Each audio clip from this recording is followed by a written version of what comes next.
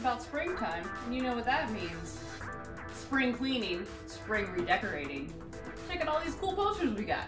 They're all wooden on frames already, so you don't have to worry about framing the poster. Like, it's all done for you.